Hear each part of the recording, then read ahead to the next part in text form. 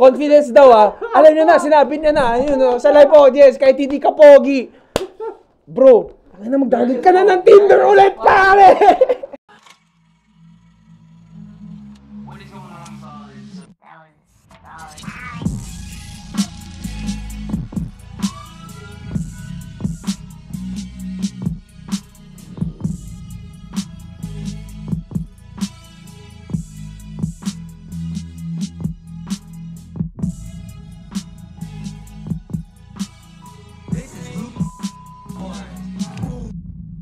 What's up guys? Welcome to another episode of the Solidios. Only here on the Solid Nights channel. with your hosts, Daddy Javi. Thor. and your boy Epic. And first, we would like to thank our sponsors, Urban Guy PH. Thank you so much if you wanna if you wanna get the freshest bling, okay, right now go to Urban Guy PH on their. Instagram and hit them on, on Facebook. And of course, we cannot forget Kick Squeaks by Daddy Javi right here, himself, in the Yeah, flesh. if you guys have dingy and disgusting sneakers, hit up Kicksweeks on Instagram. Links in the mm. description below. Yeah, we'll Frankenstein that shit, you know, like bring it back to life. You know what I mean? Before we start, I just want to ask you guys. Naging torpe ka na ba? Ikaw ba? Naging torpe ka na ba? Of course, Oh, I was bro. one of the biggest torpes back in elementary and high school. I, think, swear. Yeah.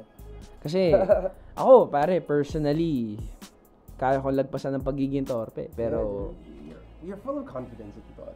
full of confidence naman tayo dito eh. Go lang, bro. Ako lang, ako lang. bro. I'm like, Bakit? Ako, ako lang ba yung pogi I'm like, dito? yes, actually. Ay, wala, guys. Kung agree kayo, kung ako lang yung pinaka-pogi dito, comment down below. 'Di ba? Pero kung ikaw si ano ah, kung ikaw si Jessica Senpai, hindi, ako yung pinaka-pogi. All yours, baby. Naka-sweater lang ako pero ako yung may pinakamagandang siko dito, pare. So yeah, uh, sorry for the background noise, guys. Um, it's raining heavy. Yeah, it's raining And uh, aside from the rain, we also want to acknowledge the first actual, uh, not first, but the many live viewers watching us shoot this podcast or web show right now. So we Yeah. want to say hi to Saya, Dazzle, super gorgeous, Aj, looking really chill. as- Yeah, as we also have Migs Migs. on set, Migs Katapia. I think this is uh, sir. Dazzle Diwa, Seiya, my boy Seiya, and my sister Aj. Villaflor. So really thank you, like fully sent. Uh, okay. It's not half sent. Yeah, we will put their Instagrams in the link in the description below. Yo, anyway, let's get back to the topic at hand. Sir. So, is- ngayon, for this topic, for this episode, pag-uusapan natin kung bakit ka nga ba natotorpe? Bakit ka natotorpe? Ikaw ba? Ano bang naiisip mo na dahilan bakit? Ako kasi pare, pag sinabi sa akin bakit ako natotorpe, parang bakit hindi ko maamin. More on Yeah. ganun eh. More Yeah. on bakit hindi ko masabi kay crush or ba't hindi ko masabi kay alam mo yun, kay ganda. Okay, ah, mismo. Bakit? Uy. Gusto kita. may may may roadblock eh. May roadblock Lagi kasi. may roadblock Alam mo yun. I think the first reason kung bakit naman tayo natutorpe is because it's when you're being shy. That's number one, diba? Would you Yeah. like to like dwell on that? Or like, have you ever been shy to the point na talagang kahit katabi mo na? Oo hindi naman, mo na- pare. Oo naman. Kasi, pag sinabi kasing torpe, una sa lahat, before anything else, number one, nahihiya ka lang naman eh. Mm. Sobrang nahihiya ka lang sabihin sa taong gusto mo na, uy, crush, gusto kita. Kasi maraming factor na nag-jive in dyan. Eh. Maraming factor na naglalaro sa isip mo na, alam mo yun, hindi ko gusto sabihin sa'yo bakit. You're risking a lot of things. Una sa lahat, friends tayo eh. Pero baka pag inamin ko sa'yo na gusto kita, Sira yung friendship. baka masira yung friendship natin eh. So. I'd rather keep you as a friend na kesa sasabihin ko na lang na gusto kita. I'd rather stay in the friend zone. Kumbaga. di ba? Mas gugustuhin mo lang na nasa friend zone ka Kesa mawala. kaysa mawala na lang Entirely. yung entirely. Kasi syempre, you put yourself in an awkward situation. Another thing uh, when it comes to being torpe is when someone actually lacks self-confidence. Oh, And bro. That happens a lot, especially for kids in school, like college or high school. Diba? Kasi sometimes those are the points in your life na talagang nag-break out yung pimples mo or ang chubby mo noon, mukha kang totoy, kasi you have no confidence at all para i-approach yung crush mo and just to tell them na I like you. Ah, Wala eh. That's all it takes lang naman, pare. Sabihin mo lang naman kay crush na, I like you. And then dun mo na malalaman yung results talaga. Oo, eh. tayo eh. Sabihin pa naman sa'yo, I like you. Hindi kita gusto. Hindi okay. Okay. Di ba? It hurts, but like, okay. let's Okay, okay. I mean like, kailangan mo ba talaga ng mga ganun tao sa buhay mo? Yung ayaw ka din. Yeah. Di ba? Wala eh, ganun talaga eh. When you don't have self-confidence, it, it basically just means wala kang tiwala sa sarili mo eh. Mm. Which is a really major factor talaga kasi you're, you're just too scared to, to, to go out there and just, you know, push yourself out there to the open and then in the end, you might fuck up. Kaya Yeah. parang sobrang hirap din na magtiwala. Alam yun? Another thing is, meron kasing tinatawag pa rin na fear of rejection. Yeah, that's Oo. true. Sabihin na lang natin ganito, like, aminin na natin, may mga tao na nasanay na glorious, Yeah. may mga tao na nasanay na lagi nandun sa taas. Alam mo yung tipong kapag may program sa school na, okay, kapag may dance battle, kailangan natin tawagin si ganito, ganito, ganyan. Mm. Kunin natin siya. So, takot ka, saan? Sa rejection. Yeah, that's You are afraid of rejection. That's true. And uh, if I could just share a story with you guys, I just remember back in uh, the sixth grade, hindi hindi nangyari sa akin to, ah, pero it happened to a friend of mine. Inamin niya sa crush niya na, ano, crush kita. Mm. Ano sabi ng babae, bro? Oh. Yuck, ew, ang pangit-pangit Oh, mo kaya. Oh my God. Ang sabi, Oh my God, bro. Ew! Yuck! Pag na-reject ka na, doon na rin mag-ano yan eh. Doon na mawawala yung confidence mo. Like, what you're gonna start asking yourself, what's wrong with me? Diba? Like, why? Bakit hindi ako gusto ng gusto ko? Tsaka kasi ano eh, you, you tend to overanalyze the situation din. Yeah. Kaya kaya nagpa-fuck up din in the end. Kasi you, you're, it's either you're playing too safe or you might, and actually it is just being about playing too safe. Kasi Yeah. to, natotorpe nga eh. Diba? Actually. So, And another thing, uh, kung bakit ka natotorpe is fear of judgment. Mm. Kasi, minsan inisip mo na, baka pag umamin ako kay crush or baka pag umamin ako dun sa gusto kong babae or lalaki, baka sabihin sa akin na, alam mo yun, eh, kadiri naman to, hindi ko siya gusto. Aminin na natin, ganun talaga eh. Di ba? yeah. Pero takot tayo dun eh. Takot tayo na bigyan tayo ng image na kung ano hindi talaga tayo. Mm. 'Di ba? We are afraid of being given a different perception of what we think we are. Yeah. That- That's another reason why people tend to have uh, what they call split personality in, in another in another Mm, sense, diba? Sobrang tama 'yun. Like for example, ako, I'm with this different group of people, I can be this. Yeah. Pero when I'm with this group of people, I can be another or totally different person. Yeah, yeah, 'Di ba? yeah, Bakit? Because meron kang fear of judgment eh. Takot ka na husgahan ka ng ibang tao. And I just want to tell you guys, dapat wala kayong pakialam dun. Yeah. You know why? Kasi the people that will really love you will love you for who you are, Yeah. what you are, despite anything, no matter what. Yes, sir. Parang may hugot yun, bro. Parang, Ganun, Okay ka lang like, ba? ano mo Okay ba? kasi, alam mo yun, well, kasi alam mo yun, years of trying to prove myself to everyone, Mm, di ba? I just came into the conclusion na I just need to prove myself to myself. Yeah, aside from like the fear of judgment, so we have the fear of rejection, fear of judgment, judgment. Ano parang ang dami ng fear factors. Eh. Your introverted side tends to surface. so Uh, parang yeah. you've never, if you're someone who hasn't actually been in a relationship, then you're probably gonna think na, is this even gonna work out for me? Diba? Like, uh, nag-overthink ka na. It, everything that we've said so far, All relates to- nag-accumulate na siya. Yeah. And this is just one of the final steps na talagang magdadalawang isip ka, am I gonna tell my crush that I like her or him? 'Di ba? So, that's just the last thing. And, uh, well, not technically the last. The last thing is your bad experiences. If you've had bad experiences, then you're gonna think na, oh, why should I keep going? Why should I, di ba? Bakit ko pa tutuloy Oh, ito? bakit ko pa itutuloy? Guys, if you have any bad experiences sa pag-amin kay crush na gusto kita, comment down below. Yeah, actually. Comment down below kung ano yung pinakapangit na experience mo sa pag-amin dun sa taong gusto mo.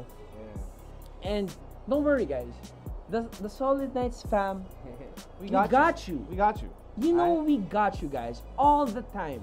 Yeah, we do. You know why?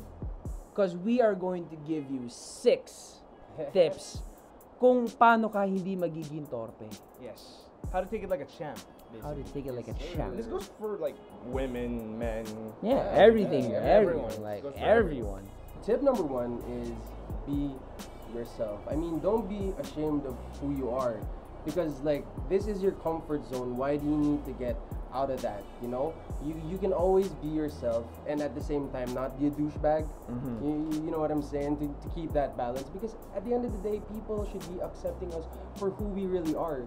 Because that's who we are as people and I think, you know, people should really get along mm-hmm. in that aspect, diba? You you gotta stop pretending kasi unang-una sa lahat, that might backfire in the end. Yes. I totally they might agree with call you. you out na Yeah. parang, oy, didn't you say you were this guy? Yeah, Blah, and blah, uh, what like, happened? like we said in the previous podcast, diba, if you're gonna lie, make sure na your lie is something that you can back up. Okay? You can't just go up to the girl and say, "Hey, I'm an astronaut billionaire." Was this a wingman episode? Yeah, Astronaut- this is- this is a astronaut wingman billionaire episode. po, like- Yeah. Yeah, I mean like guys, people really hate people who are really pretentious. You know, like you tell this person na, "Oy, ganito ako," pero hindi naman talaga. Or just so you know, 'di ba? Honor student ako. Yung pala, Ano lang, nagtitress-stress lang sa... sa, sa eh, grades. man, sabihin na lang natin na academically challenged. Mm. Yeah. Academically challenged, 'di ba? I mean like ito na lang yung isipin nyo guys, the burden of trying to keep that shit going on for a long time. Yeah. Sabihin na lang natin, nakuha mo si crush. Tapos nalaman niya na iba. Nalaman niya na iba ka pala sa sinabi mo nung nagpakilala ka. Mhm. Saklap talaga. Sobrang saklap. For example, sasabihin mo na rugby player ka ng Pilipinas pero nalaman niya na baseball player ka pala. Yeah. Kahit na, alam mo yun, even if it's the minor things, Actually, that's a major. or it's a lie. You Pero, wanna know a minor thing? Is pag sinabi mo sa beginning ng relationship, you know, baby, I like K-pop too. Tapos mamaya maya, into the relationship. hugot! Ten, ten, ten, ten! May hugot! Oh shit! Oh my god! I didn't even think of that. You were... I wasn't even thinking of that. No, I swear, there's no hugot in that. I was just, it was just one of the things. Yeah, that- fuck y'alls, man. Fuck y'alls. Hindi, may hugot talaga yun. Pare, kahit ano sabihin mo. Wala, walang hugot yun. Ulo. O sige nga, K-pop ka nga kung talagang K-pop fam ka. Tip number two. Learn how to look good. Yes. And pag sinabi kasing learn how to look good, it doesn't necessarily mean na kailangan gwapo ka. Mhm. Yeah. No. Actually, this refers back to tip number one na kailangan you have to be your best self. Yes. Learn how to look good being yourself. Alam mo yun, tansyahin mo. Alamin mo kung ano yung nasa surroundings mo, pare. Yeah. Alamin mo kung si girl ba may boyfriend or alamin mo ba kung si girl naghahanap ng relationship, Yeah. 'di ba? Yeah. Kailangan aware ka. Kailangan alam mo kung ano yung pinuputok ng butchi niya. Yes, definitely. Di ba? Tsaka kailangan tansyahin mo kung ito ba yung tamang oras na umamin kay crush. Kailangan marunong ka makiramdam eh. Kailangan, wait lang, ito na ba yung tamang moment na sabihin ko kay crush na, uy, gusto kita. For example, namatay yung boyfriend nung girl na Ooh. gusto mo. Tapos like that- literally that one day dark. pa lang, one day pa lang, you're gonna go like, hey, what's good? that's a no-no. That's a very, that's very no. Okay, so just learn when to actually say na you like the person. Learn how to look good and not just And to add to that, the live audience wants to give a fucking insight on Okay. everything. Let's call on our special guest, say uh, Seiya. Come on, man, let's go. Mr. Full Full send. Send. Come over Let's here. go. Mr. Full over, Send. come Come on, man, let's go. Sit on- Get in frame, get in frame. sit on my lap. Sit on his lap because we don't have fucking bro. space. Welcome to the show, bro. All right, thank you guys. Thank you for having me. I watched Snoop Dogg's interview with 50 Cent. So Snoop Dogg said there'd be a lot of brothers out there rapping the same style, like Migos, Future Migos, some shit. Then 50 Cent was laughing, bro. He was like, "Yeah, man." Snoop Dogg said, "Who can be you but you, right?" That's a word up, my brother. Word up. Yeah, word up. Word up. Word up. Who can be you but you, man? Who can it's just be basic you philosophy and logic. but you know what. I'm saying? Uh, thank you so much for that beautiful insight, Saya. Mm. Uh, I really uh, appreciate give your, give your you Instagram being on the show. I'm Riptide1801 on Instagram. Just Mm. give me a follow. Yeah. So like Thank you. his Instagram will be in the links in the description below. This is the main cam. This is the main cam, bro. Okay, okay. Main cam, main cam, main cam. Okay, okay, Main gap. okay, Yeah. Thank you, everyone. okay. All right, next tip number three. You guys need to stop overthinking. Kasi yan ang magiging kalaban mo eh. That's what kills us all mentally. The mental game, bro. That this shit brings, bro. I swear. Actually, I totally agree with you on that because why? Masyado mo kasing pinag-iisipan na she's out of your league. Masyado mo sinasabi sa sarili mo na, ay, baka kasi pag umamin ako kay crush, ganito. Or baka pag sinabi ko kay crush na, uy, gusto kita. Pero, alam mo yun, kung masyado pag-isipan, Yeah. Yeah. you are not as ugly as you think, guys. So, syempre, we, we gotta stop dwelling on uh, looks only. Syempre, you can also be ugly with your personality, right? And because of that personality, you tend to overthink na parang, oh shit, I have this reputation. Will she accept me for who I am? Ooh. Parang may hugot yan, bro. ah. Tip number four. Be confident, okay? And take it from me as like, I'm not, diba? I'm not the best looking guy in the world. Everyone Nah, bro, that, you're diba? like the best looking guy in the whole fucking world. I love you, bro. Eh, Di ba? Don't you guys agree? Pero, like, I mean, Jessica Senpai for sure agrees. Yeah. Thor is the right? best looking guy in the fucking bunch. Come on, guys. Nah, that's not true. Pero anyway, what I was It, trying nah, to bro, sell. hindi. Sorry, it is true. Hi, I mean, if you insist. so, uh, being confident means to, uh, believe in yourself. Believe in the best of your abilities na, you know, you're gonna get this girl, you're gonna get this guy, okay? Kasi at least, at the end of the day, you tried, and no one can say na you didn't, diba? So, you should just, I mean, put yourself out there 100%, don't overthink it, and just, you know, have the confidence, kasi, you know, confidence is one of the things that people will always remember about you. It's your charisma. Yeah, I totally agree. Charisma. That is right. That is like Mhm. on point. Minsan kasi hindi natin alam eh. Malay mo, gusto ka din pala. Yeah. Mhm. Wala ka lang confidence sabihin kay crush na gusto mo siya eh. 'Di ba? Parang gusto ko sabihin, nahiya ako. eh. Pero may mga times din kasi na ano, may mga times din kasi na nag-aantayan kayong mag-aminan. Oh, bro, Diba? sobrang totoo. Diba? Sobrang totoo nun. Alam mo yung parang, oh ano? Di ba? Parang, ano ba? Ah, pero, hindi, wag na lang. Ano ba? Hindi, hindi, pero, Susugod na ba ako? Ay, di, atras mo. Yeah. Susugod na ba ako? Hindi, parang may sasabihin yata siya eh. Susugod na ba ako? Di ba? Minsan, you know, confidence is everything. Sabihin mo lang sa sarili mo na, okay, guwapo ako. Alam ko na hindi ako karumal-dumal o hindi ako pangit. Di ba?